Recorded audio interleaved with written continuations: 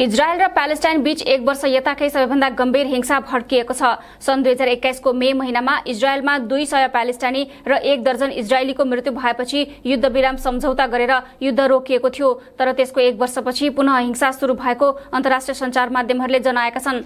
पछिल्लो समय गाजामा चर्किएको हिंसामा मृत्यु हुनेको संख्या चौबिस पुगेको छ। गाजा स्ट्रिपमा भएको इजरायली आक्रमणमा उनीहरू मारिएका हुन्। मृत्यु हुनेमा छजना बालबालिका छन्। इजरायलले प्यालेस्टाइनी अतिवादी विरुद्ध बमबारी विस्तार गरेको जनाएको छ।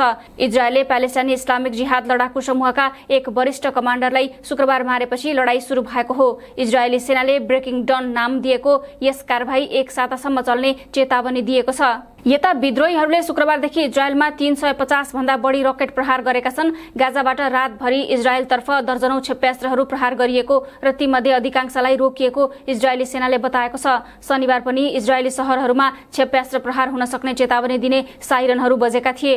शनिबार इजरायलले प्यालेस्टाइनी समूह इस्लामिक जिहादका उन्नाइसजना सदस्यलाई नियन्त्रणमा लिएको थियो। उनीहरूलाई वेस्ट ब्याङ्कमा छापा मारेर पक्राउ गरिएको हो। यता गाजा क्षेत्रको मुख्य सैन्य समूह हमासले भने अहिलेसम्म आफ्ना ठूला क्षेप्यास्त्र प्रणालीबाट प्रहारहरू गरेको छैन। यद्यपि हमासको विचारधारा पिआइजेसँग मिल्छ र उनीहरूले प्राय आपसी समन्वयमा काम गर्छन्।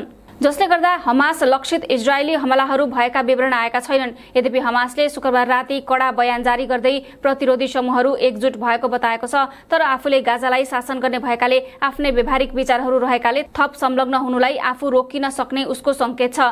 इस्लामिक जिहादले उत्तरी वेस्ट ब्याङ्कमा आफ्ना एक नेताको गिरफ्तारीको बदला लिने डरबीच इजरायलले गाजासँगको आफ्नो आवत हुने क्षेत्र बन्द गरेपछि प्यालेस्टाइनी क्षेत्रमा कठिनाई उत्पन्न भएको बीबीसीले लेखेको छ।